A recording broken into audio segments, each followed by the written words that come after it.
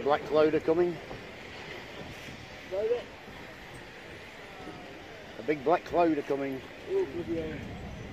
Again.